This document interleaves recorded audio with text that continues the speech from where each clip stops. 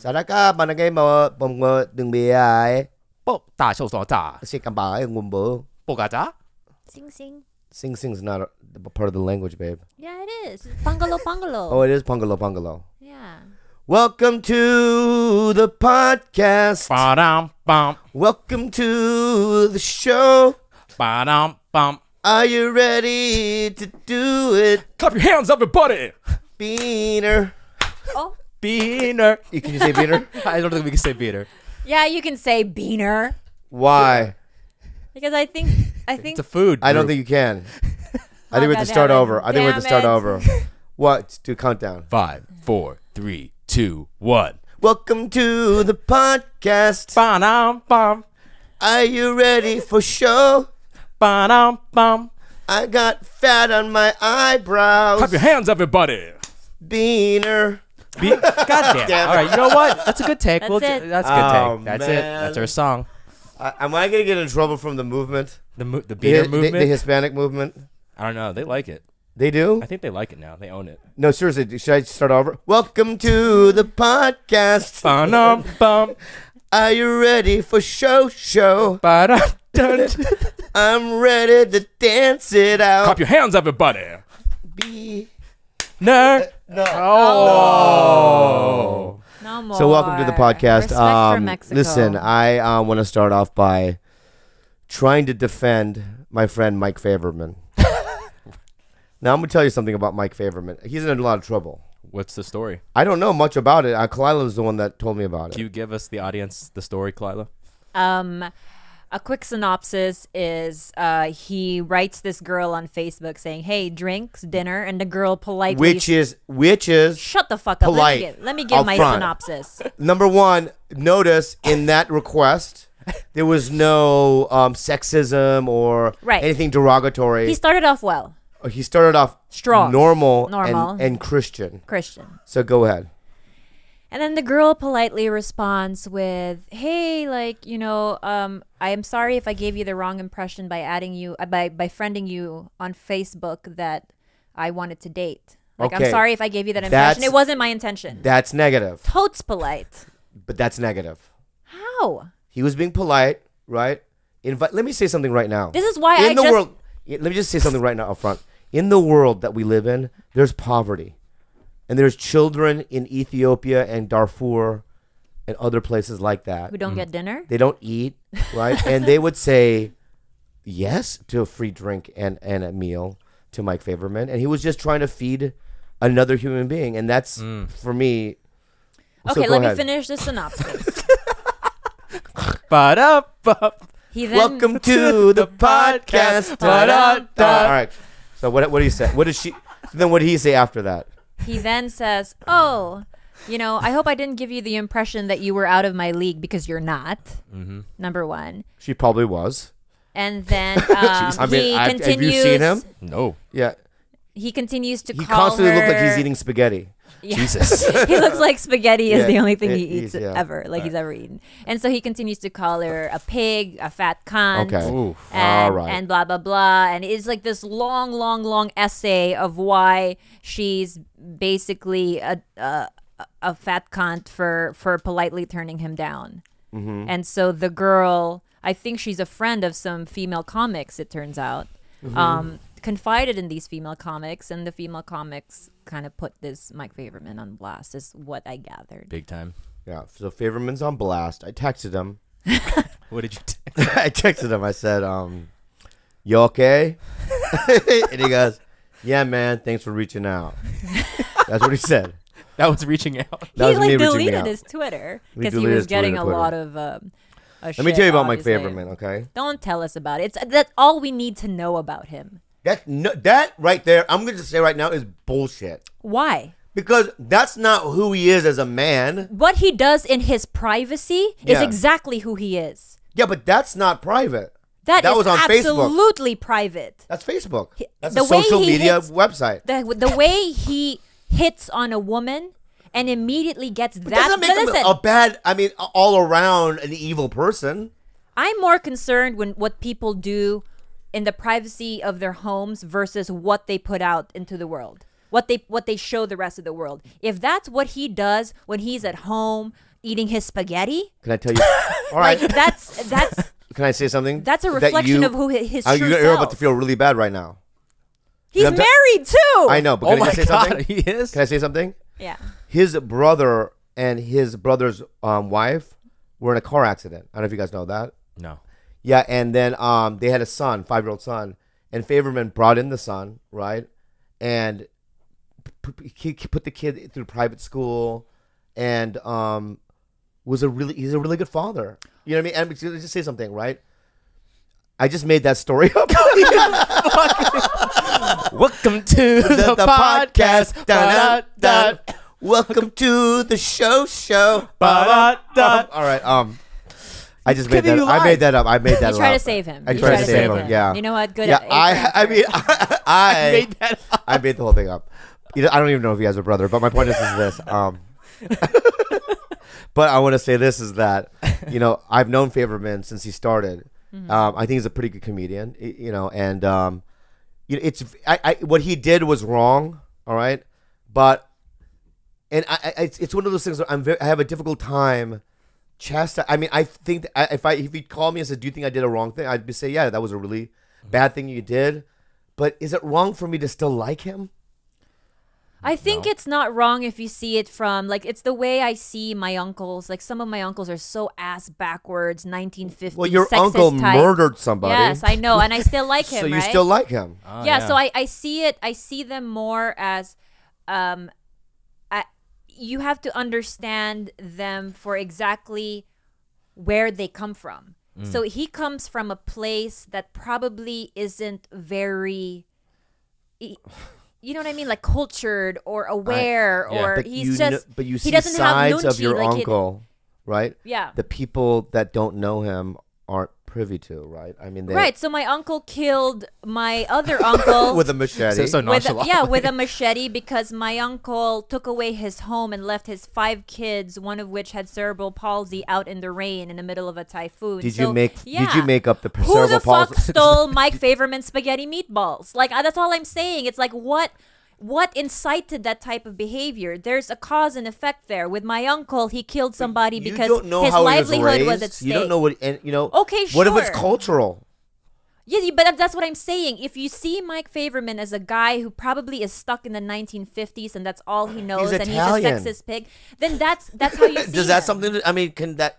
No. Can, can that save him? Hello. But I get that though. Like I, I kind of only judge people by how they treat me because sometimes I don't know that other side of them. And Mm-hmm. if they've only ever been kind and nice to me, that's all I'll ever judge them for or hold them. You know. I do have to say this though. There is a group of com- comics because Faverman's a, sta- uh, a comedy for comic, and I'm not, I'm not going to name any other names, but there was a core group of comics when I started that had this agenda of like weeding out female comedians. I mean, they would outwardly say women aren't funny to their faces, you know, mm-hmm. and a lot of these women that they said it to have become extremely successful Oh. i.e., Chelsea Handler, mm-hmm. i.e., Whitney Cummings, these types, you know, what I mean, had to endure this, the, this, you know, se- sexism mm-hmm. in, in, in the comedy game and and bl- blunt and brutal sexism. I want to say something. Yeah. I think it's bullshit to say that those girls are successful because they were treated badly by men. No, that- Imagine if men That's not what I said. because you say yeah, there's a resilience there and the fact that they're able what to I'm saying, sweetie, just fucking listen. Is Okay. is that I'm I'm not saying about their success. I believe that those women. I mean, they're my fucking Chelsea saved my fucking career. Mm-hmm. You know, she had me on her show when no one in Hollywood wanted anything to do with me, and I needed to get on her show so I could promote my shows. I it was dire. Mm-hmm. Mm-hmm. And I am extremely grateful and I love her immensely. And I've always been, I've always thought she was funny. I've always thought that Whitney Cummings was funny. And women, I bring more female comics to open for me than any other comic in, in around. Mm-hmm. I love a- any kind of comedy, especially when it's different from my own, you know? I like variety. That's not what I'm saying. What I'm saying is, is that I think that Faverman it was a part of a group of guys, you know I mean, at the comedy store for some reason or another, just never really felt like females were funny. Mm. But that's besides the point. This is a woman that he's written in his private life that he's trying to date. This woman is not a comedian. Yeah, I know. So mm. He's trying what, to get some pussy. But if that's how you Am I not right? you try and get pussy, I mean, my God, what it's kind like when Ari Shaffir. I'm just saying, when Ari Shaffir did that joke about that girl Damien without an arm. Oh yeah, yeah. Do you remember that? That whole thing, yeah. and they people try to lynch Ari. You know what I mean? Damien did a video on YouTube saying, you know, uh, you know, uh, you know, I'm a, like a victim. You- Uh, you know, he, he he said it on TV and you know and help us. And a lot of people texted me and called me saying, "Oh, that Ari is a piece of shit. How are you friends with him and stuff like that?" And it's like, but people don't know who she is. Oh, What? like so, so people who don't What who I'm aren't known get are okay to be treated like shit. We don't know who this lady is that he t- texted Mike Faverman. Do you know her? Apparently, there are girls who know her very well who. It what was if completely, what if she's you know? This was unwarranted. Like it was trying to unprovoked. paint her. Am I in trouble He- for- No. with this line of thinking? I I hope I know where your where your heart is, and I know for a fact, and we've talked about it, that you you would never talk to a woman like that, and you would never deem that acceptable. Now, imagine. I've never raped. I've never molested. Okay, I've never right, done any all of right. that. Now imagine. Okay, Why'd can I just say this? Thumbs up. This girl apparently has a boyfriend, and that's why she turned him down. Now Uh-huh. imagine if Mike Faverman talked to me. I got a message the exact same way Oh. to me, Yeah, and you're my boyfriend. yeah, but who is her boyfriend? what is that? mean? It ma- It- it, it- matters. it's- All right. if it's David Duchovny's, it was her boyfriend. Dave, It really matters. It matters. If he works at Kinkos, it still matters, but just not as much. Ah. It's like, I quit. I quit. Why? I'm not gonna. Why? Why are you mad at me right now, babe? Because for once, I want you to defend women. I am going to defend them. Say it again. I want you for once not to. what he did was abysmal and um bad. Three- And- and it really is bad, and he should not behave that way, especially because of the fact that he's married, right? And he married a little Asian one. oh, she's Asian. Yeah, like she has a thick accent and stuff, Oh wow. which I don't find attractive. That's to each his own. You know what I mean? I have an accent, dummy. Yep, no, but hers is like, you know, Thick like- jungle. Well, like remember, like Oh, here we go. remember in Platoon when Kevin Dillon shot that guy in the face and he was hopping up and down with his leg because he shot his leg. That kind of accent. so hardcore. yeah, Dad Fanny charactery kind of accent. Mm. And he's playing uh, Tahoe, right? Is he Tahoe this week? Last week. Are we plugging his we shows plugging his No, it already, did, it already happened. Go see so that Tahoe fan. go if- see that fan right Yeah. now, even though he's not there anymore. But yeah, I, I, I, what he did was wrong, and I just I don't know how to defend it. There's no way to defend it. And um, if you if people were to ask me, are you Mike's friend? I go, yeah, he's all right, but um, you know, I mean, I don't clo- I don't hang out with him. I'm not close to him. I just know that he's worked really hard as a comedian, and these are some of the consequences of consequences of behaving that way. But you know, he doesn't deserve to have his whole career flushed down the toilet because of that. I don't think. Yeah, and that's the that's the problem with with social media. You Yeah. know, it's like you are a criminal before you wake, e- even before you know it. Like you could be sleeping, and something that you said via text three years ago could be put on blast, taken out of context, and you could be criminalized before you wake up and start your day. And that's the danger of. Of, of all of this, it's and then people really truly believe what they see immediately. They don't try to um, understand that maybe there's a bigger picture or a bigger story. And A la Michael. Ri- a la Michael Richards. Well, he he did the hard, the N word with a hard R, Ah, yeah, yeah. multiple R. times. Pretty, pretty hard. A Yeah, lot of he. times. Um. Yeah, I mean, but that, but see that right there, his decision to do that at the Laugh Factory. If you guys don't know, I mean, Videos obviously out Michael there, yeah. Richards was a, a cast member. He played Kramer on Seinfeld. He was at that Laugh Factory. I think everyone listening Yeah. probably knows. Mm-hmm. And he said that he would hang black people upside down and put pitchforks in their butt, which He had a they meltdown. never used to do back then. So he just made that up. he made fake. Like he acted as if like that was something that we did in America. Pitchforks. Yeah, Pitchforks yeah, we never did that. butts. We hung up, hung them, and that Yeah, was that. You know what I mean? them. Lynched them. Yeah, yeah. Which is wrong and awful, but um. Yeah, but uh, there's there's it's hard to. So what he did, but he, what he made the mistake, just I just because I've never really talked about it. Mm-hmm. Is is that and I'm, he made a mistake of even just going up in that specific show Why? Was it the because Urban Show? Freaky Monday was the urban Ah. show. You're Michael Richards. What the fuck are you performing there for? pretty white? Yeah. Because I'm pretty. I can. I'm a little bit more relevant to urban rooms. That's, and I'm not. When I say urban, it's not racial. That's just That's just what they call it. what it. they call it- the call industry calls the it, yeah. industry calls it urban rooms. So don't write me a fucking letter saying you're a racist by calling it. it that's what they call it. Yeah. And um, I've done them, urban rooms, and I'm 50-50, but they're very difficult to do. And I don't know why he even would choose to do that, but um, I did not know that was an urban room. He did that in. yeah, Holy he did. crap. And, and I uh, thought that was just a regular crowd. no, no, no, because Holy yeah. shit. And then also, secondly, um, Dang. but he still worked. I mean, I- Yeah. he did an Alley, Rit- Alley, what's that? Kirstie Alley show, Which one? the Kirstie- limousine one, or whatever. He was the limo, uh, the one they offered me. You went. You got for the same roles as him. Yeah, what happened was the showrunner of That's how Practice. you know Kramer's career is going down the drain. Yeah. well, that's Wow. that's an attack. that's a that's yeah, an that's attack. purely an attack on me and my career. But um, that's no holds barred. But anyway, um, yeah, after Animal Practice, the showrunner did that show, Kirstie Alley show, and then he goes, "Hey, do you want to do this show?" And I go, "I don't know. I heard these weird things about Kirstie Alley. Oh, like Yeah, that she's just not fun to work with. diva. I just different weird things, and I just she just seems that way too. So I just said no, but he did that, and um, so he's still kind of. But you know what? Who gives a? F- I mean, I'm just saying what he did was wrong. But you made, you know, his there was there what is there? Their syndication alone was like 150 million dollars. I mean, they made so much so money. much So fucking much. money. It's like, but you know, at the At end, what h- at what amount of money would you have in your bank account to be able? Okay, what amount of money would you feel safe having in your bank account to say the the n word with a hard R out loud in an urban room? 150 million dollars. then you'd say hard R's all day. I don't think I would do it. No. I mean, I've said the N word before.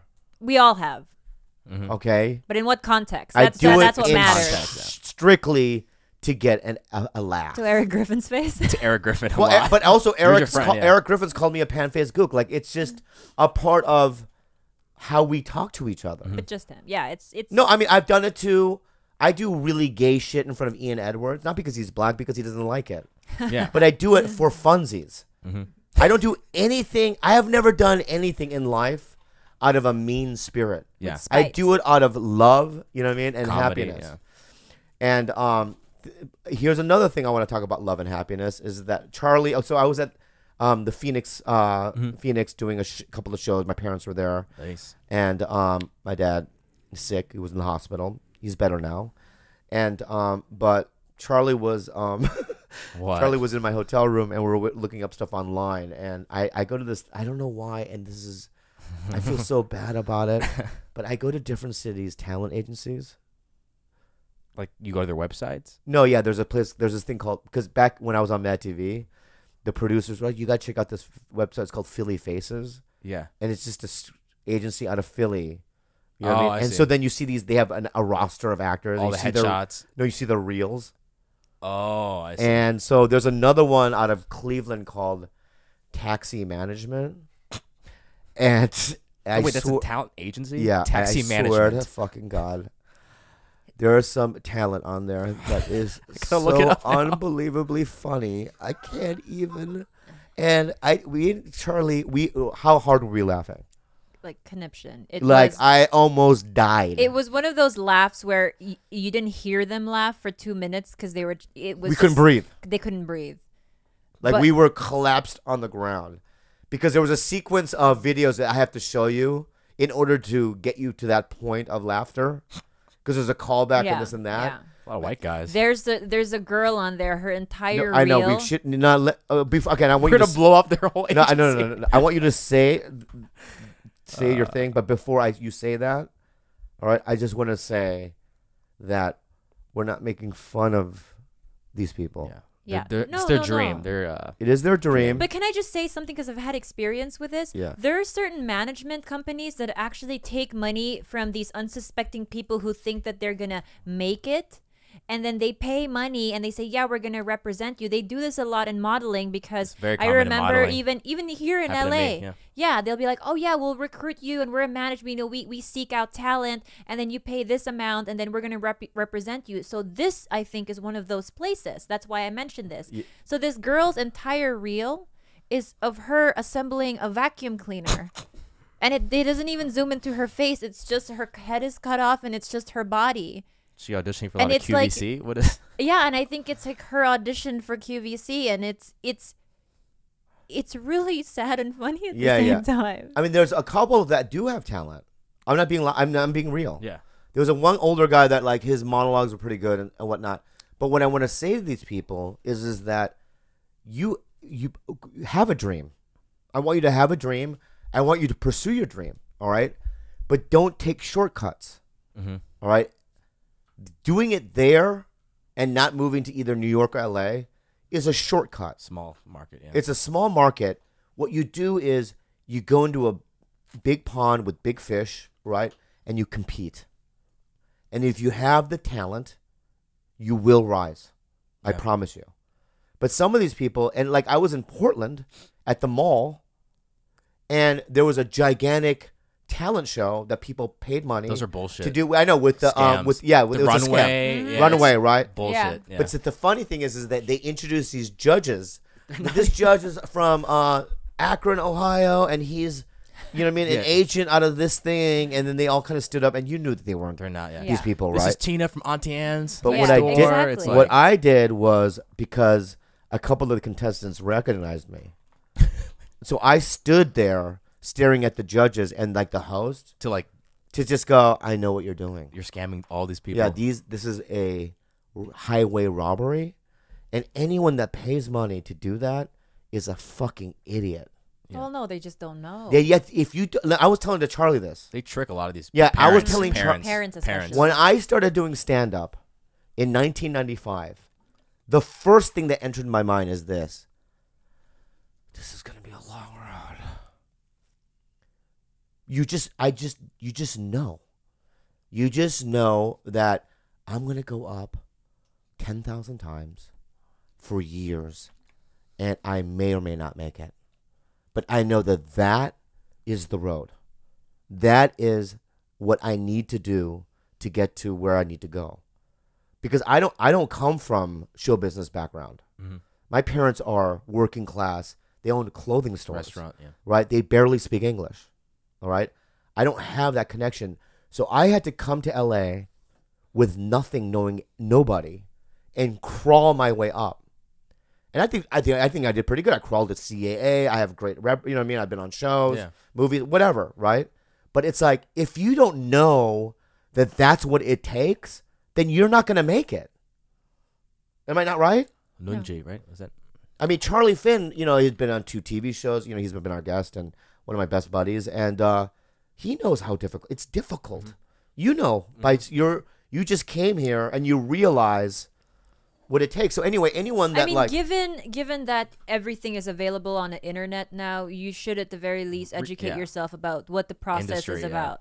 Like what it actually takes. Because back then, and I mean, all of these um, videos that we were looking at, this um, quote bad. unquote management, Bad.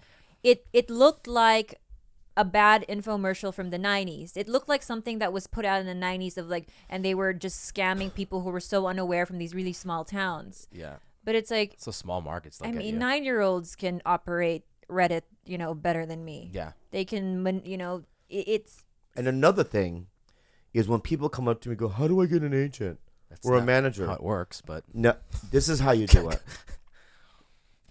they come to you. Mm-hmm. That's Okay. it. Mm-hmm. That's it. I've never. I only one in the first two years did I do headshots. Mm-hmm. After that, I said, "Fuck this," because nobody wanted them. They came to you. One day, Matt called me and said, "I can't get you at Gersh because that's where my agent was at the mm-hmm. time." He goes, "I just became an agent, but I'm gonna look out for things for you," and that's how it started. yeah. But it's like, and that guy, the reason why Matt even knew who I was was because he'd see me go up a hundred times. You know what I mean at the uh, comedy store. So that's I'm just saying that that's if you're if you wanted to ask, and you're listening, I want to become an actor or a comedian. That's fine. Do the work. That's all. Educate yourself. Is it wrong to even play this right now on the because some of them are so good. Well, they know the thing. They can look it up now. Yeah, they can look it up. Their website's gonna crash. They're gonna get so much traffic. Our bandwidth. Everyone's watching these reels. I mean, Wait. these reels are so good. I mean, some of the reels are like DP, you don't even DP know. good. No, you don't even know who that person was that you're even looking for. That's how little they're in it. We're gonna watch it after this. I gotta, I gotta That's see it gonna be now. great. Have to. But anyway, that's I just feel like uh, is that mean for me to do? No, but. I just No. I just laughed at it and I just Let's let's talk about um our our trip to Arizona. what is it? What do you want to talk about? I mean, a lot of things happened in Arizona. On the way there, what happened? Oh my god! Well, we leave for here at starters, midnight. for starters, oh wait, who you want me? I can start. Wait, oh, so now you're gonna talk? Okay, I'm just gonna uh, before we get into it, I'm gonna say something really nice first. I'm gonna I want to say this before you say that. All right, Okay. is that you want to be real about it? I want to be real about it, but I also want to say something positive and nice. Okay. Which is at the end of this ordeal that we had, Bobby and I hit a milestone in our relationship, and he gave me flowers for the very first time. Wow. Dead ones, but still no, flowers. they're flowers. It's the they thought. they were all dead. hey, The, the I'm like, you couldn't one- find deader bitch, flowers the than ones this. that I got you were the freshest ones. Believe me. Really? Oh, because For the heat 30 Arizona. minutes, I was fucking rifling through this fucking garden. you know what I said mean? you broke into a garden. No, I went to this place where I was next to, uh, you know what I mean? Yeah. Florist. A Oh, florist, florist. yeah. But it was so hot there, was so, so the hot. transport of holding flowers Died. in that 104 heat, they Yeah. just Woo. fucking. They don't survive out there. Okay, No. go ahead. So we leave, we drive to Phoenix. we leave at midnight, Ooh. and I have press at 7:45. So you don't mm. sleep. Okay, so I have one. Okay, so I have one press, which is the most important radio show, and they're so busy that they, they only can allot allot a lot a certain. They're so tightly scheduled, so it's like we go from eight ten to eight thirty, and if he's not there, you don't do press. Done. So let's start. We leave. You're Uh, already sounding defensive. I'm not being defensive. I just want- I'm not defensive. You're like prefacing this whole story with. I just want to throw that and then go ahead, tell the story. that was your little thing before the story. no, Go there, ahead. There's not much to the story. We're hyping it up as if there's so much. But Yeah. basically, we leave at 12, and I made, I made the worst mistake. I have my my cardiac episodes always happen in my sleep. Always, 99% of them happen in my sleep. And I told myself during this drive, don't fall asleep, Khalyla, because you don't want to risk getting an episode in the middle of a desert. Oh God. But we were listening to an audiobook and I drifted off to sleep. And sure enough, around 4 a.m., we were about two hours away from Phoenix. I wake up unable to breathe. My heart rate is over 200. I'm completely diaphoretic. I'm sweating. I'm shaking. I shake a lot when I have these mm. episodes And when it happens, it's terrifying. It really, to me, because I just wake up and I'm like, it's like, I oh can't. my. And we're now, now Oh though, we're in the middle of the desert. Mm-hmm. So she wakes up. We're in the middle of the desert, You react. and I'm like, we got to find a hospital. But we're in the fucking desert. There's Okay. a long stretch of nothing right before you enter Phoenix, maybe a good two and a half hours out. Uh, maybe so. I, I Bobby goes into Google. He searches for hospitals. We find one. em- Hospital. yeah, in the middle of like Blythe, Arizona, and it only had California, like 10, 10 beds in their emergency room. yeah. Oh, small ass operation. So he's trying to speed through we the speed dark. through. We get there, and I'll be honest with you, and this could sound a little okay, okay, preface this. racist, but it's not. Mm-hmm. Just listen. Mm. I was a little freaked out because it looked country As fuck. as fuck. I see what you're saying. Tumbleweeds. Okay. You know, it's like, wow, we're in Deadwood. You know, we go into the emergency room. I go out to the car. They bring her in, and then I come in. She's on the bed. She has like little wires attached. What do you call them? Yeah, it leads. Leads attached to her body, and th- the head nurse was Asian, Half Good. Asian. half Good. Asian, It- And, and all of a sudden he felt better. Just so much relief. He took a deep breath Uh, as soon no, as it he really, saw- it really does. Really? If it was white people, I would be freaked or other colors. But um, when I see when I'm in a hospital and I see an Asian, I just go, finally, real professional help. oh my god. And you know what? It's it's like it's like this, and it, this is gonna sound fucked up. It's comforting, but it's not. It's not. I feel not as comforted as if I'm sitting in an airplane and Mm. I realize the pilot's black. Because I don't know why. Really? When I ever see a black or a Mexican pilot, I go, oh. So it has to be So white. I, when I when we take off, I hold on to the things a little. you know, we're gonna talk about this in a little while, and I'll tell you why that Is is, that a race- really, really stupid feeling you have. so you like a white guy? Let's finish the story plane. first, and we'll go back to the There's pilots just certain. later. Jo- uh, just listen. There's just certain jobs Okay. where if I see a certain race, then I'm I feel just a little bit more easier. I'm that's gonna all. do a study. I- I'm, I'm gonna gonna say an call you oc- out. I'm gonna say an occupation. You say a race. Okay, well let's tell, let's finish the story okay, yeah, first, okay. and then we'll play your stupid game. I'm gonna just call you out real quick before we continue. yeah, yeah. Do it, Khalyla. I'm in you trouble. are the only Asian that I know in existence who has a black accountant. so you're actually not as racist as you think, my friend. I'm not racist. I know, but what I'm saying is, if you saw you saying you you, you get scared of a black guy. Can I just say this though? but you're not afraid of a black guy my with your money. my So you're accountant good. is black, Mm-hmm. Clinton, and I fucking love him, and I trust him with every fucking penny that I ever earned. I really do. Mm-hmm. He's family to me, and he's this old black guy. He lives in Marina Del Rey, and I trust him with my life. But it took me two years to sign with him. because my manager goes, I know a guy named Clinton. You need an accountant. Mm-hmm. I met with him. I just called her. I go, I don't know. She's what do you mean? He's the best. He does Stevie Wonder's manager, all this stuff. Oh, and sold. Yeah, yeah. I'm like, ah. So I I went and shopped around a little bit more, and then two years later, I met with him again, and then I signed. That, that's it. Mm-hmm. Yeah. Anyway, go ahead. so great. we're on Blythe. Great side Asian, yeah, Asian Asian lady in the. In, You, you could have gone without telling that story. All right, so Asian lady. All right, Asian I don't lady. care. I say I'm not editing. Yeah. All right. Fuck the edits. We're good. Fuck the edits. A- so so Asian. Asian lady, she does it. So at this point, I make a decision. I have I I can either I'm scared of not having having the help that I need if my symptoms worsen, right? So if I'm going into full SVT, if I'm going whatever, whatever, I'm afraid that in Blythe they don't have Proper. what it needs to convert me. To convert meaning they give me um, adenosine, my heart rate. It's Yeah. bas- to jumpstart my heart, whatever. So I tell Bobby, I'm gonna ask for an EKG. We're already running late. We've been there in the hospital. He remember he has to be at press at seven, Seven, yeah. right? So it's four o'clock. We're Damn. still we're about two and a half hours, three three hours away from Yeah, we're cutting close. Yeah.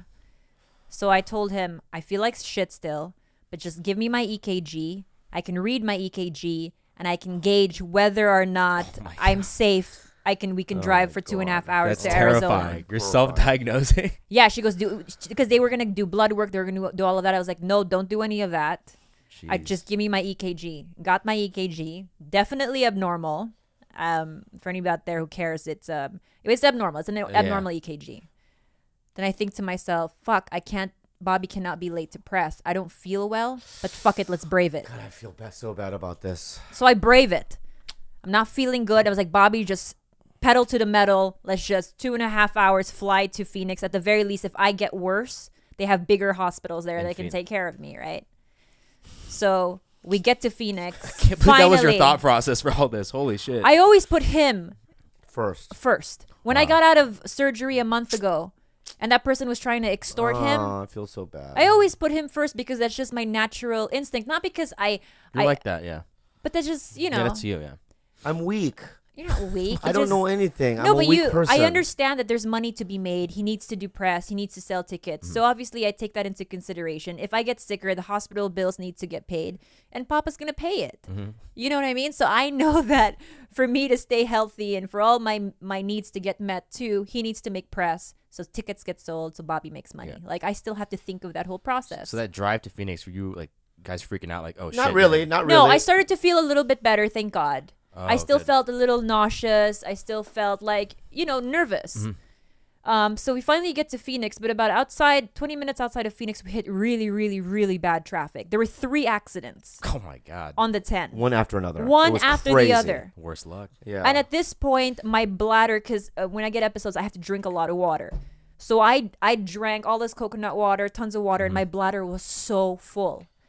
And I told Bobby, he lo- I said I have to pee. Like I cannot hold it anymore. I'm gonna pee in the car. And he goes, but we're gonna be late to press. So I said, fuck it, okay. I get a cup, I go into the back seat, and I start peeing. Peas into a coffee cup. Like I'm doing everything I can to get him to press. Everything I possibly can. And I'm nauseous. I'm like, you sweetie, like I think I'm gonna vomit because that's what happens when my episodes yeah. happen. We finally get to our right around to- to, the hotel. to Someone cuts him off. I'm still in the back seat because I just peed. Yeah, and, and Right? because because she just had a breast operation. Yeah, I just had a uh, my she's in breast the back seat now. removed. Her breast hits my car. He slams on the brakes. I mean, my the back of my chair. my seat. left breast completely collides with the back of his seat, and my now my left boob is completely bruised. Yeah, she's screaming. right? I'm screaming. I'm nauseous. I, I my bladder is still full because I couldn't fill the I whole cup. disregarded her breast, and I was basically going, "Where the fuck's the hotel?" And I was crying she's in the crying back in the back. You both are just at level ten right And now. Yeah, also, we level haven't 10. Level 10. slept, mind you. So you guys are just Yeah. Oh, man. All right. And so so, then, we get to the hotel finally. I didn't even bother. I just went straight well, to the no. bathroom. What, ha- this is what happened. When I, we pull up to the hotel, my guy is there Mm-hmm. to pick me up to go to press, and he tells me we gotta go because we're late. We had to get there by eight ten. Okay, and it's now eight, almost. tight. no, so- seven fifty. I was just, I was I was watching the clock. Okay. Anyway, I mean, Look how more dramatic it was though. so then I we put our stuff into the lobby of the hotel, and I, I, go said, straight for the bathroom. I peed and then I vomited because I was nauseous. I Uh-huh. had a bruised tit. Everything was just a fucking mess. Yeah. Right? I come back down to the lobby to to find Bobby already gone. Mhm. And I was livid. he dumped he dumped his he just left all his luggage there, didn't check in, didn't do anything. He went straight to press and he couldn't my the reason I was upset was he couldn't wait 1 minute for me to finish peeing and vomiting before saying, "Hey, bye, babe. Uh check in. Here's the stuff. I'm going to go." Yeah. Well, and that's why that's why I got and that's flowers. why I got her flowers. Ah, the that's where the flowers came Yeah. in. First time in my life I got flowers. Did you smile? You know, I actually cried. I was so touched. it's so easy to make me happy. Like there's, I was, I when he left and I was in the hotel room and I checked in, I was crying. I was reassessing my relationship. you know, what the fuck? How much more do I have to do? You know? I was kidding about the black pilot thing. Oh yeah, you were. I really was. I was kidding about that. I was trying to make a joke about it. You it came out me. wrong. I know. Yeah. You know what I mean? And um, I've been thinking about that the whole time since I said it. Yeah. And I just want to say that I don't, you know, in fact, I don't want to ever want to talk about race really any, again. Yeah. Yeah, let's this let's, let's be that. Let that be. But the before last. we do that, let's play the game. All right. I'm gonna need you to say a race for what I say an occupation. All right. No, what do you mean? So if I go carpenter, first race, Oh, I see. I love, I love this game. So go ahead. popular game, We just, made, we just made it up. But go ahead. uh, carpenter. White, Hmm. All right. Accountant. black, Interesting. Good. Uh, college professor in philosophy. white, farmer, white, Oh wow. Okay. strawberry picker, So specific. Mexican. Okay. farmer. Uh, They're not the same thing. uh, It's like s- slave owner, slave. The same thing. It's not the same. uh, but seriously, pilot.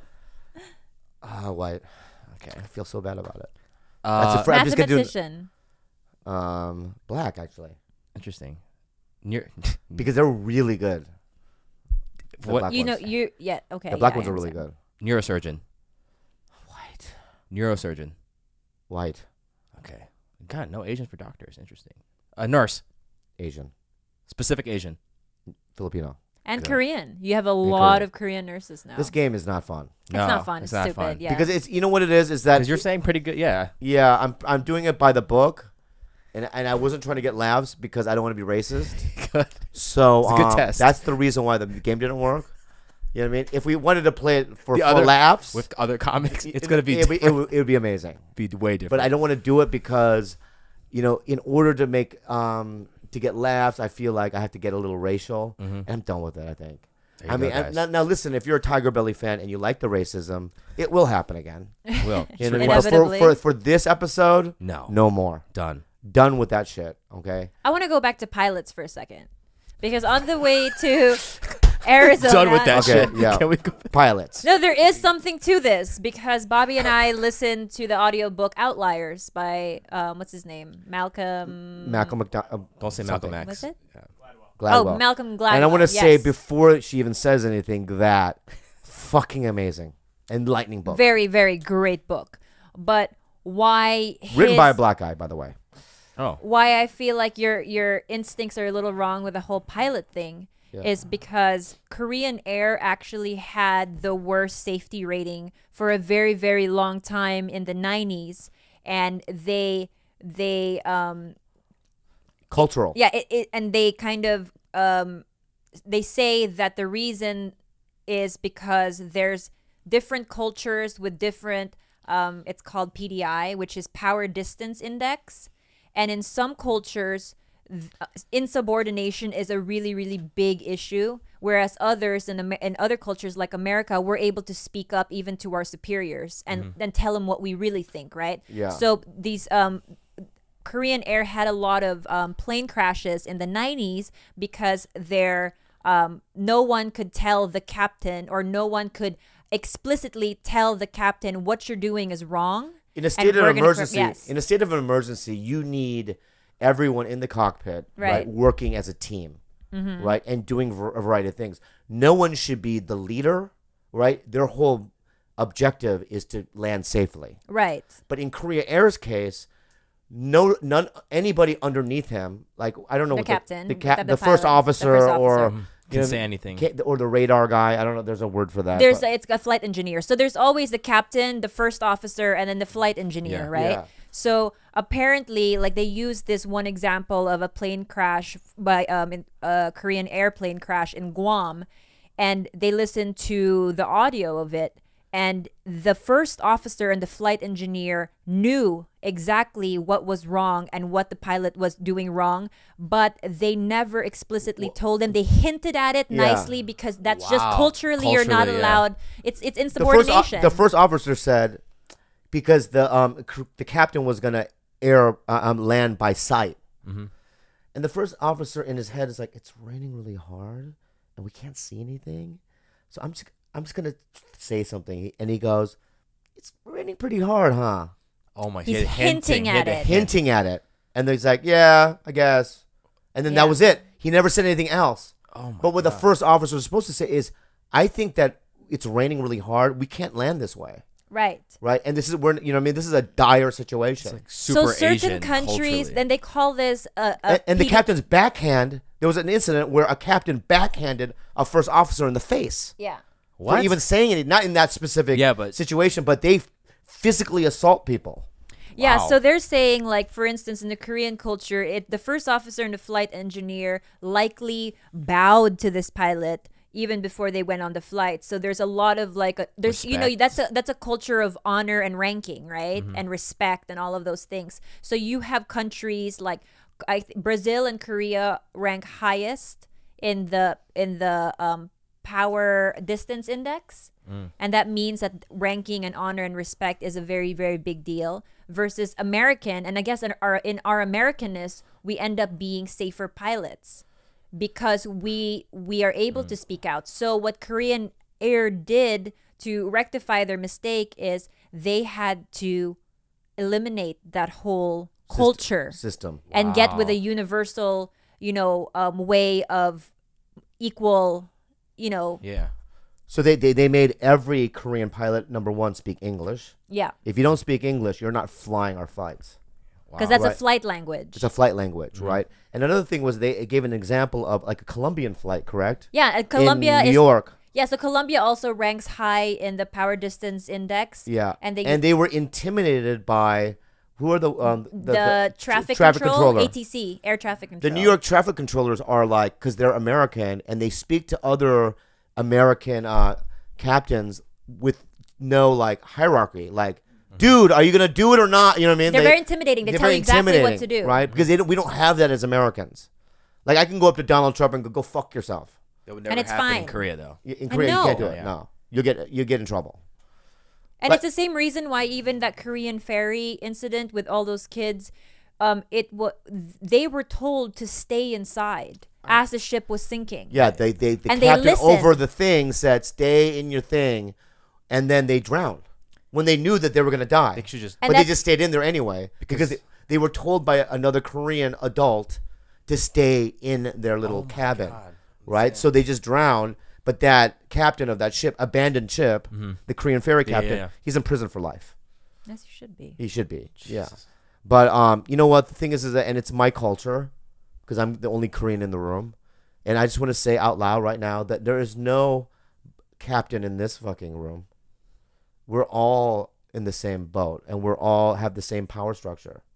All right. It doesn't so seem like it. I know it doesn't seem like you it. make Gilbert and I. I know it doesn't seem like You- it. It's the way I talk. Well, no, you force us to bow every You have time to bow. we you. You have to bow. I'm so tired of bowing. You have to I bow. Here. Right, and you have to call me sir. Do we mean When the camera's ha- not on, Do we right? Khalyla have to eat rice still out of a little dog? Yes. I don't. So tired of bending But over. when to you're eat. eating the rice, just remember that we're the same. all right, we are the same. I mean, we're all unique. We're snowflakes, and yet we're the same. We're snow. All right. so I want everyone in this room to know that. Right. too, we're George. all on the same playing field, even though I make more money than all of you combined. okay, we're all on the same. We cannot override the captain's orders, guys. yeah, Oh yeah. my I'll God. backhand you. we're all gonna die in the ship. I'm first captain. You're yeah. your flight engineer. We're fucked. Yeah, we're fucked. We're Oh dead. my We can't tell him anything. We can't tell me. We can't even tell him, Bobby, don't be racist. Bobby, don't be sexist. We'll get backhanded. Also, in Outliers, they talked about why Asians are good at math, What was the reason? Rice culture. rice culture. What do you mean by that? What do you mean by what do you mean? Just read the book. We're not Yeah. gonna. We're not gonna. No, get what, no, say now, I'll like, tell you why. I'll tell you why. like, I'll tell you 'cause they why. eat rice? Because I'm not really good at like, but I can just I, I know the gist of it. It's basically in when you're harvesting rice, Mm-hmm. it takes a coordinated effort, and it also takes like American farmers. They have machines, right? Oh, I see and there's certain parts of the year where they don't work, right? And so it's like it's they don't work as hard. You have to to cultivate rice, work 12 hours a day, and it has to be specific. Like the water has to be a certain level, right? Or it ruins it, right? It, it positionally, right? So they need, you know what I mean, a coordinated effort. So they work constantly 12 months out of the year. So they always um, wake up before dawn, before the sun um, rises. yeah. And they have they have to look ahead and make sure that they're harvesting enough to last them to last their grains the winter or the tougher seasons which which is not rice wet rice season and so basically they're saying that asians have a lot of um, patience persistence and um, And they work. yeah, and the the and so basically when it comes to a math problem, it's not that other like let's say let's use an American kid for example. It's not that the American kid is has a lower IQ or is less intelligent. The Asian kid just has more patience and will work on a problem for 5 minutes until before asking for help mm. versus the American kid who will look at it for 10 seconds and be like I don't understand this. I'm going to go get some help. So ah. that's how they explain it's it in essentially work ethic. Like a lot of people think that Asians are just smart. and it's not true. It's not true because I'm dumb. Yeah, I'm stupid. Dude. and I, you know, I and I wish I grew up in a, a rice culture. but but by by coming It's here, never too late, baby. what my parents did though was they came, they had me here, and you know, because a lot of like, you know, what is so funny because a lot of these immigrants they come here for their children yeah. and they want their children to have culture, education, have a variety of friends, and just have a big life, you know. And but what what they don't realize is that if you're gonna have your kid here in America, your kid it, it you're rolling the dice. Mm. Because 18 years later, it could have tattoos on his face. it You know I mean? could It- have it- tattoos. You know what I mean? Yeah. With the skateboard, you know what I mean? Shaved head, no shirt, walking around, and it's your daughter. Her titties just hanging out, right? And- You know what I mean? And you're like, what happened? I'm a lesbian. You know what I mean? And you're like, oh, I had him here. You know what I mean? Mm. America just fucks people up in many ways. No? Yeah, I'm wrong? no. Am I wrong? Yeah, because I think about what my life. yeah, yeah, I think you're, I think Yeah, you're think wrong. you're wrong. I think you're wrong. I think about what my life would have been if I stayed in the Philippines, continued staying in a very tight knit community with an international school with a great like you know IB program. All my friends in the Philippines are are successful. They're oh, they're they hold high power positions, right? Yeah. Every single one of them, Yeah. except for me.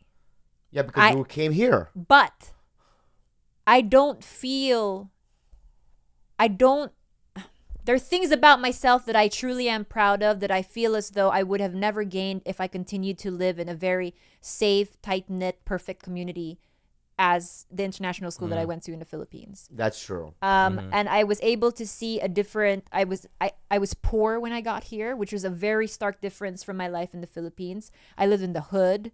I my my school was half black, half Mexican. I was I I got street savvy and all those things I'm proud of. Mm-hmm. When all- she said she grew up in the hood, why, why did you smirk? Because I look, you looked at me right away. No, why did you smirk? Because you're gonna talk about Glendale Pasadena. No. or Pasadena, the I hood lived in Pasadena. I lived on Summit Avenue. If anybody, if you were in LA, drive smirk? by Summit and Mountain, Yeah. and tell me if you think that's a great area. I've never been It's there. very dangerous. Between the yogurt store and the diesel uh, jean j- have store. you have you taken him? Very yet there? dangerous. Has he seen He's it? never seen it. I think we all gotta go. yeah. yeah, He- he's and a- stand outside for five minutes and see how you feel. But if my parents never had, if they had me in Korea and we stayed in Korea, I feel like I would have had just a, an abysmal, normal life of just working in an office or a factory or I don't know. You know, it's like I believe that I'm the way I am because I am an American and I was able to just Do do, whatever. whatever I wanted to do, and I'm extremely blessed that they had me here.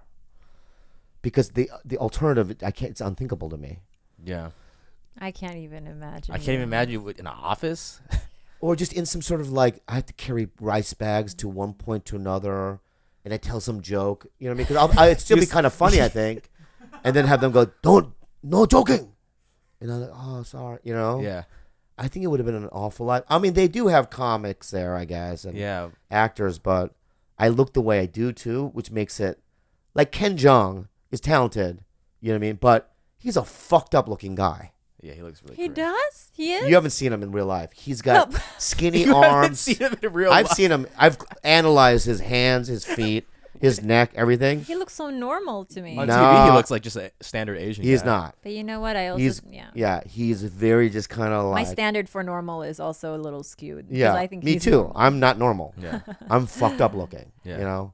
Um, we were at the hospital to visit um, Bobby's dad, and um, his mom was changing the dad's G tube, which was in his stomach, so she had to lift his um, hospital gown up. Okay. And um, what were your observations about your dad, baby? If you're gonna say that my dad has a bigger dick than me right now, You said that.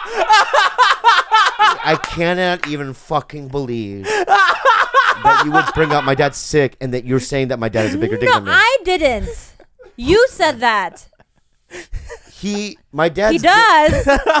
he definitely does. But what I'm saying is, you said it first, and I just agreed.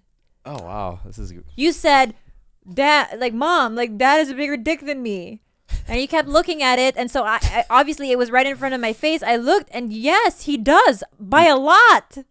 Jesus, Khalyla, easy man. What the fuck? Relax, lady. It's so much bigger than his dick. She keeps repeating. it. All right.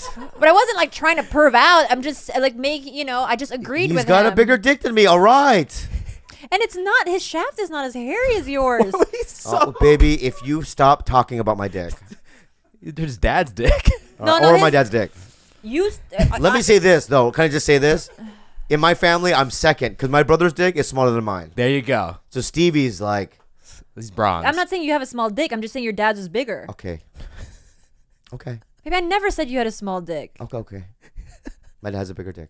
Yeah, that's all I'm saying. Next time my dad is um undressing or whatever, don't look at my dad's dick. Um, I actually Yeah, turned Khalyla. away. I Can you not look at my? li- If your mom was sick and she was pulling up a, blo- I would not look at your mom's vag. Interesting. I go, wow, your your mom's vag is tighter than your vag. Do you even know from looking? Imagine if I said that. Your mom's vag is pinker and tighter, like a little one- baby's fucking vagina. number one, I didn't say it. I merely agreed with you. Yeah. You said it first, and I just nodded and said, "Yeah, you're right." yeah, Yeah. you're right. That's all I said. yeah. Oh man. Jesus, But, baby, um, get so angry. I'm not angry. My dad has a bigger dick, and he's sick, and that's that. He's got bruises all over his body. It's like really hard. To see him that way. You know, it really is difficult to see It was somebody that you were so frightened of growing up. You know, he was a guy that we just feared, Mhm. you know, and he is a shell of a man. He's old. Um, he's extremely emotional. Like, cause when you went down with my mom, I was just me and my dad in my hotel, in the hotel room, in the room, and my dad started crying. He just cries. Oh man. You know what I mean? I love you so much. You know what I mean? It's like, and I, you know, and it's really, just really sad, you know, and it, it's an unav- unavoidable part of life. And when you're in it, it's like, I don't know. I mean, it's not sad, I guess. It's, you, you, you just think to yourself, wow, this is a part of life. But I just never knew. Uh, you, ne- as a kid, you never think that you're ever going to be in this position mm-hmm. to take care of your folks, you know. But here we are. They always seem invincible. Your parents will always seem like they, they cannot Mm-hmm. Mm-hmm. get sick, they can't falter, that they'll always be just these strong pillars in your life, but that's just not the case. Um, I wanted to point out something that really frustrated me in the hospital, and you know, we talked about this is you know his parents don't uh his mom speaks english perfectly to me sh- she speaks perfect english but you know there is an accent barrier there so obviously when when people are talking to her in english too fast she's not going to understand it his dad isn't able to articulate sentences very well but it's the way you were they were treated by the doctor and the They first didn't bring my like, they didn't bring my dad breakfast, breakfast right? yeah and he has like sh- blood sugar issues Yeah, like and my mom goes, they don't respond to the doctors come in, they don't say hi, they don't Right. talk, and you know what I mean? And they treat my parents what if I, my brother and I aren't there. When my brother's there, they get shit done because my Oh. brother looks like he's gonna kill them. Yeah. yeah. You know what I mean? So when I walked in with Khalyla, my mom's complained like they don't they're treating us like immigrants, Mhm. right? So then Khalyla, Khalyla presses the button. The nurse comes in, and she looked like she was scared because she sees both of us. You know what I mean? And then I try to, and this is gonna sound really gross, but this is what I try to do always. Is I'll do a little walk around just so that anyone recognizes me. because I think that it works. Yeah. yeah I think I really do. If let, let me say something right now, if you were a nurse, Yeah. right, and there was this old white man, right, Yeah. complaining, my, my pelvis, or whatever, my pelvis is burning, My pelvis. and you're like, I don't want to fucking help this Yeah. white man's pelvis, so you don't go in there, Yeah. right? But then like Dica- you realize it's Leo DiCaprio comes in, It's his and that's his dad. Would you be more attentive? Oh, of course. Then Would you're you a- really?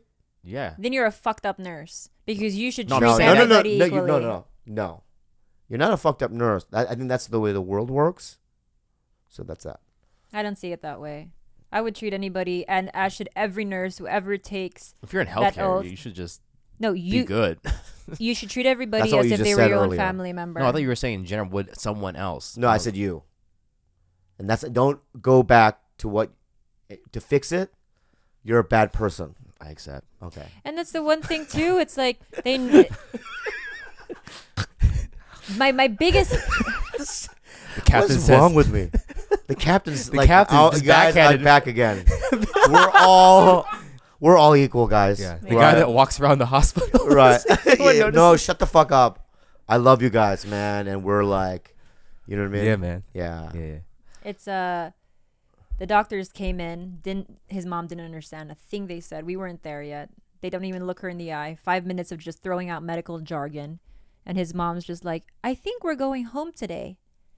So i get there i call the nurse and i'm like look i'm gonna need a very explicit plan of what to expect here because his parents think they're going home today. So give me his and i asked for the labs i asked for everything.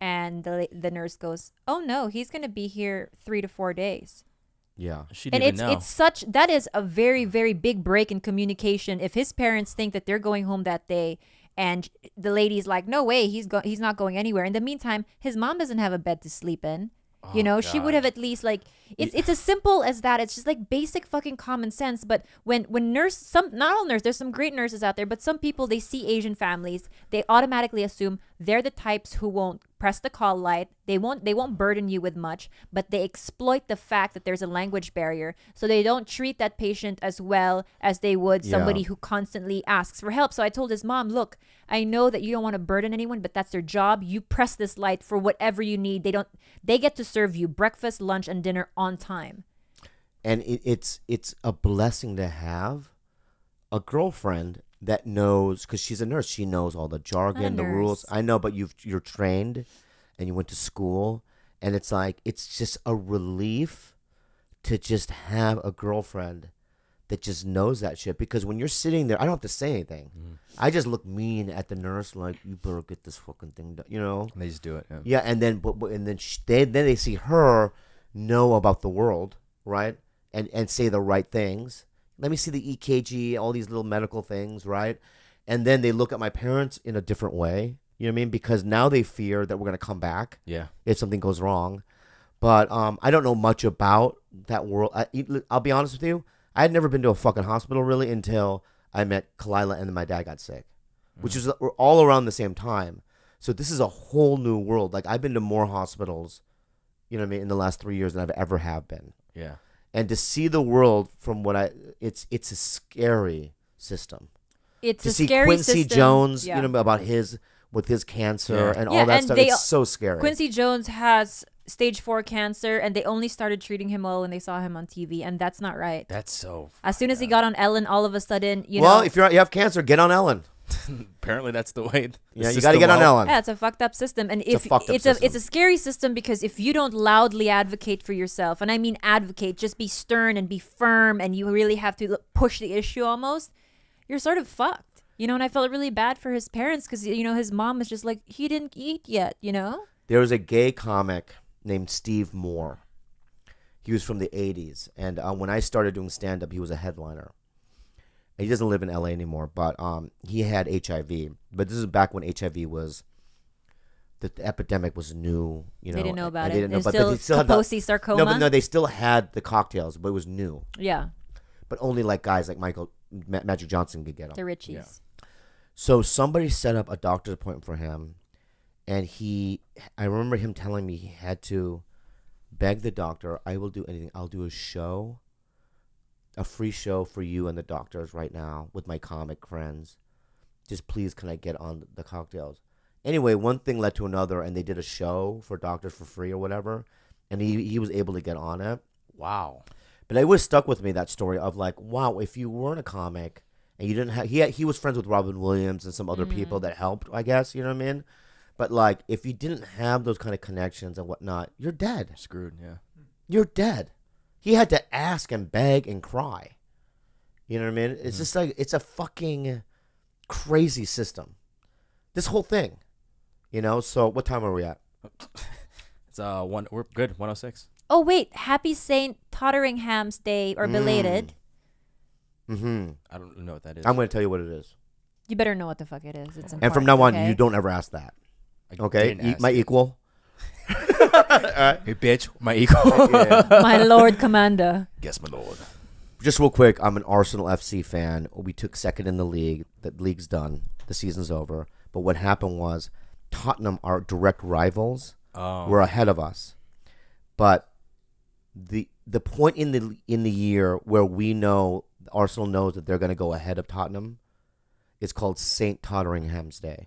So in this Mm. day of the year, there's absolutely no way Tottenham is going to surpass our points or But beat they us were in the ranking. second place this for 4 months ahead of us up until the last day. last game, last Sunday. match. And they lost. We won, which put gave us a point ahead of them. It was the best day of my life. So Tottenham could have actually won for the first, beat us for the first time in 20 years Yeah. or something Oh, 20 like that. year run. Yeah. Damn. Yeah, they almost did until the last They're match. more devastated by that than anything else in the year. That's crazy. than losing the title the to Leicester game. City. It's One game. I love you guys. Unhelpful advice with Bobby and I Khalyla. love you too, Captain. Hey, Tiger Belly. I'm a half Chinese, half mulatto young man, and I was hoping Kay could speak her mind on mixed ethnicity and the search for ethnic uh, identity. So there's two questions. First, before we get to that, the first one is in regards to Asian casting. Do the disproportionate white man slash Asian woman couples on TV bother you guys at all?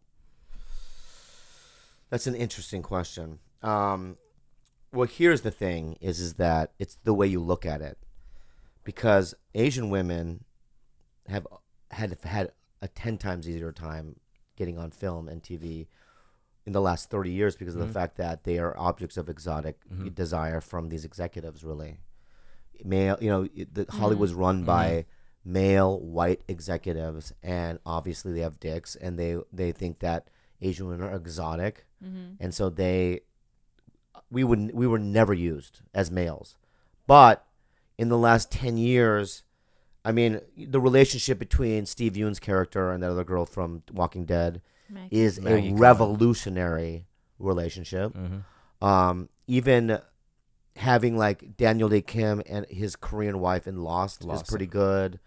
Those kind of relationships have never been shown, and also now we have fresh off the boat. Can you know what I mean? So we're you know we, it's getting better.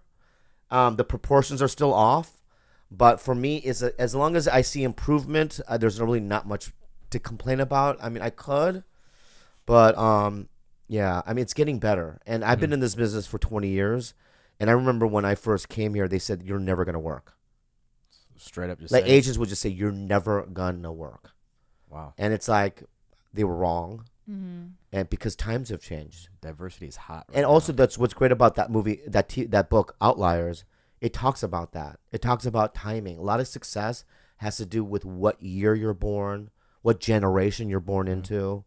So it's like i think i was i started at the right time because in the 70s there were asian male comics but they were treated like fucking doormats. And they, they had accents and they relied on like johnny yune was one of the first korean comics and it, that was in the 1970s. Mm-hmm. And I know what his opening line was, because Argus told me. Argus, who's a comic that's 65. You know, you guys know. I saw him for the first time. That guy's fucking hilarious. Yeah. Whoa. So, he's good. He's great. He's a legend. Argus told me that um, Johnny Yune had a thick accent, and his first line, he would go up on stage, would not say anything for like a minute. So the audience is sitting there, and he would slowly go to the mic and go, "Hello," and that would get a three-minute laugh. wow. Saying Harold got a three-minute laugh. That does the I mean, that's now. it. That's like dancing monkey shit. Monkey shit. Mm. you know and that's not you have to tell jokes you have to have a structure i mean obviously you know what it's like now Yeah. you know but um and for me if it wasn't for margaret cho seeing her on hbo her special i would have never done it but when i saw her i was just like i think i can do it because she is seems like a sister somebody that would like if i had a sister she would be it because she talked about she said swear words she Mhm. talked about edgy things that i like to talk about Yeah. and it seemed very real to me Mm-hmm. so um my number one person that got me into comedy was margaret i've told her that before Mm-hmm. she is so important to me wow. yeah good night We're not done yet. The second half of the question. Oh, cool. For is- Cloud, speak on You your speak mix, mixed ethnicity. So he's ha- he's half Chinese and he's half mulatto. talk about that Why? 'Cause Because you're hundred Percent. percent. She's a hundred percent Korean. And you're the captain, so the captain gets to leave the room. I thought we were equals. he just left the plane. Now we get to fly it. And Khalyla, can I have your portion of rice tonight? I'm so hungry. Uh, Um, yes, he's half Chinese, half mulatto, and he just wanted you to speak uh, your mind on mixed ethnicity and the search for ethnic identity. Um, okay, so this is something that I struggled with when I first came from the Philippines because even when I met the Filipinos in the United States, they looked at me and uh, to some people I wasn't Filipino enough because I don't look Filipino. Yeah. Obviously, whatever that means mm-hmm. because Filipino is such a mixed, Mix, culture yeah. anyways, right? So to some I didn't look Filipino enough, so I wasn't Filipino enough. And to the Filipinos that were raised here, I was too fobby. This is great. So yeah. I was too Filipino. And I always struggled with am I or am I not? But then I'm also half this and a quarter this. And I I determined this really young in my age that first and foremost, I just really cared about being Khalyla. Yes, living in the Philippines shaped me in, you know, into the person I am today, but very much the way living in Pasadena shaped me or being around, you know, being in America, living in Los Angeles. So for me, I stopped searching for an identity and just focused on my in- my individuality, irrespective of what race I am. Yes, we always talk about race on this podcast, and it gets a little charged, and we talk about the differences and whatnot. But mm-hmm. those are, I I never. The reason I'm never threatened by the talk of it is because I never put myself in the category of ever being stereotyped anyways. I don't care about the stereotypes of Filipinos. I don't I don't get offended by those things because I never put myself in a category. I'm Khalyla first and foremost, and it will always stay that way, regardless of where I was born or who raised me. You know, I I hold Filipino values like to my heart because my mom's Filipina, but I don't. I'm not conflicted in in in in my race. I'm not conflicted in what I don't need to feel ethnic I, that I need I don't need to know specifically what my ethnicity is because 50 years from now we're all going to be mixed anyways, right? Yeah. unless the KKK gets their way. um, but but yeah, like I I I don't know what to tell somebody who is mixed because they. It's like this. I had a friend, a very very white friend who grew up in the Philippines. He literally looks like you, George. He identifies so much with being Filipino because he was born and raised there, and he still lives there. Yeah. He's a guy who speaks fluent Bisaya, you know, and everyone looks at him like yeah. straight up. But he doesn't have a drop of Filipino blood, Mm-hmm. right?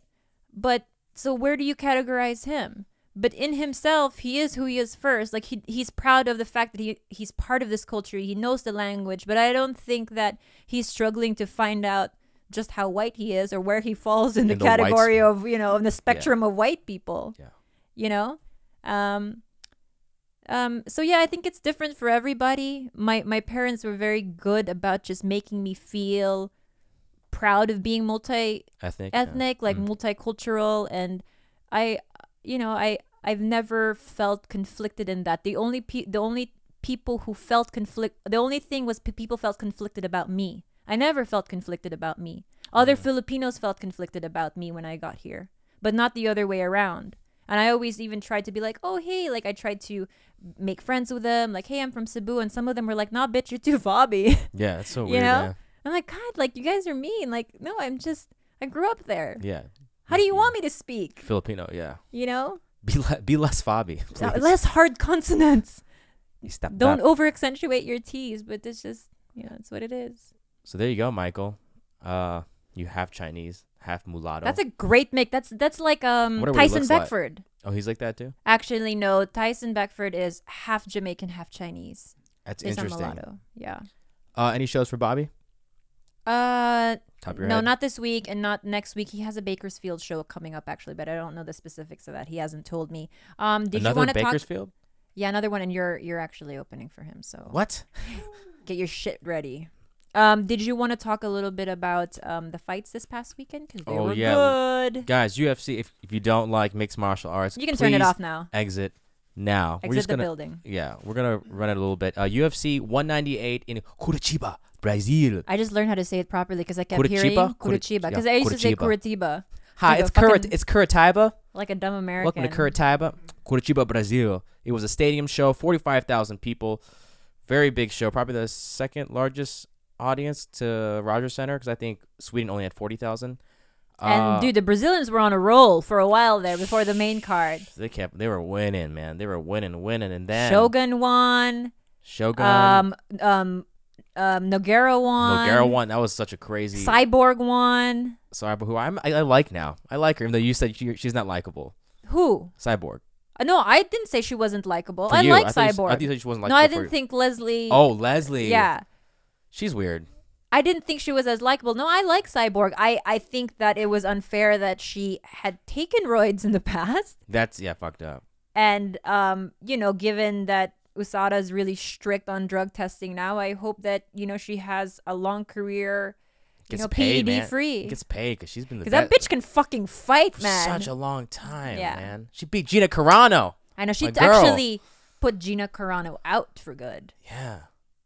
She canceled her career. Hey Gina. And I like movies. how Leslie Smith, I, didn't like it, but Leslie Smith was saying that she thought it was an early stoppage. Yeah, she the camera panned her and she said, "Fuck that! I was still awake. Fuck that." Did a ref save her from imminent death, Death. man? She was gonna die. You would if you guys watch the fight. She was about to die. yeah.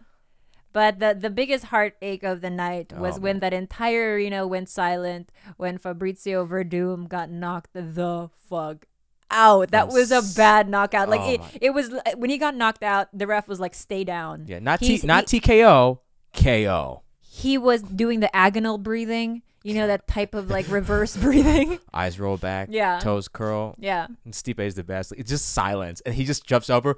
I'm world champion. I'm world champion. It was cute. Completely silent though. it was cute. Yeah. There you go, Cleveland. You don't need the Cavaliers to win a championship. You got one. It's Stipe and a Yeah. Croatian.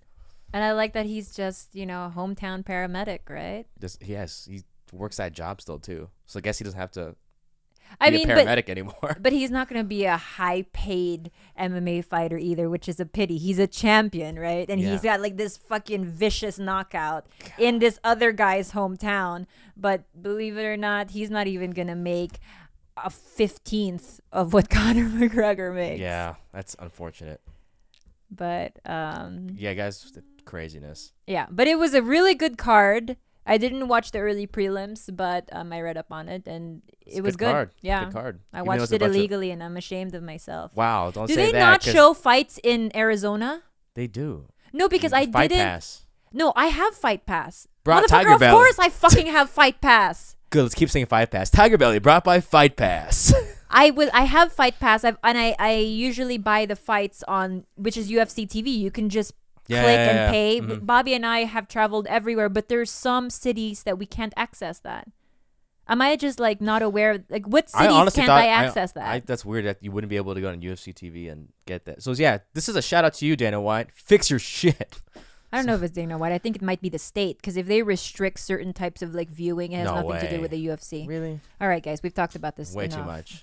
Uh, Um, what else you got? Anything to plug, Gilbert? no. Uh, Jor- uh, where's the address for our, a PO box? Oh, Uh, really quick. you do it. You announce it. Guys, if you want to send us some packages, we'll open them on air. We'll record them. Uh, the why does it say Bobby's name? Uh, it's the Tiger Belly, and the address is 1626 Wilcox Avenue, Hollywood, California, 90028 6206. And um, for all your questions, an unhelpful advice segment. Um, what do you call it? I don't know. Questions. Questions? Questions. um, please write us at to please write. God, fucking shit. I don't know. Uh, number 161. Did you say that? And it is Sweet 161. We're not. We're we gotta lock it up. Lock it up. If you have questions for our unhelpful advice segment or would just like to inquire about anything Tiger Belly related, kindly write us to thetigerbelly at gmail.com. Find us on Instagram at tigerbelly and on Twitter at thetigerbelly. also, you can follow Khalyla on Snapchat and all social media at Calamity K. If you want to see snaps of my cat licking its dick, and they, oh, Jesus, okay. that's all there is. It's just my cats. and make sure you follow George Kimmel at Gilbit. Have a good night. We'll see you next week. Ciao. Bye.